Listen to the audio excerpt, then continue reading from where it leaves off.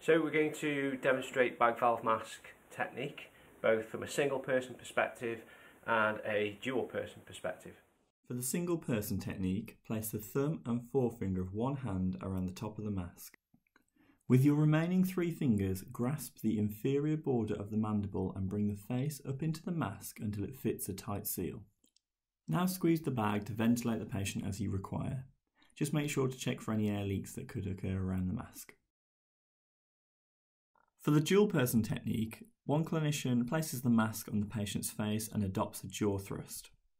The second clinician squeezes the bag to ventilate as required.